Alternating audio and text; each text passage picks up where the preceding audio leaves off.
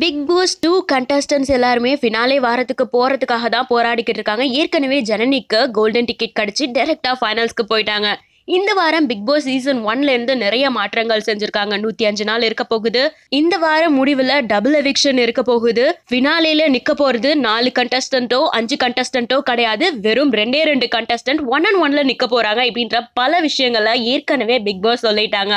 So இந்த வாரம் கொடுக்க போற எல்லா டாஸ்க்குமே ரொம்பவே கடுமையா தான் இருக்க போகுது. இதுக்காக முதல் ப்ரோமோ ஒன்னையும் ரிலீஸ் பண்ணியிருக்காங்க அதுல கண்டஸ்டன்ஸ் எல்லாருமே லிவிங் ஏரியால இருக்கிற அந்த சோஃபால உட்காந்துட்டு இருக்கிறப்போ பிக் பாஸ் இந்த வாரம் எல்லாருமே டைரக்டா நாமினேட் ஆகியிருக்கீங்க எக்ஸப்ட் ஜனனி பிகாஸ் அவங்களுக்கு கோல்டன் டிக்கெட் கிடைச்சிருச்சு. அண்ட் அது மட்டும் இல்லாம எல்லாருக்குமே தனித்தனியான டாஸ்க் கொடுக்கப்படும் அப்படின்னு சொல்லியிருக்காங்க. அந்த டாஸ்க் கடுமையா இருக்குமா? ஒருவேளை டாஸ்க்கை ஜெயிச்சாங்கன்னா டைரக்ட் நாமினேஷன்ல இருந்து தப்பிக்க முடியுமா? இப்படின்னு பல கேள்விகளுக்கு இன்னைக்கு ஷோல விடை தெரியும். இந்த வாரம் பிக் பாஸ் எப்படி இருக்க போகுது? யாரு ஃபினாலேக்கு போக போறா? அப்படின்ற உங்களோட கருத்துக்களை கீழே இருக்கிற கமெண்ட் பாக்ஸ்ல கொடுங்க. இன்னும் நிறைய அப்டேட்க்கு யூஎஸ் தமிழ் ஹெச்டியை சப்ஸ்கிரைப் பண்ணிக்கோங்க.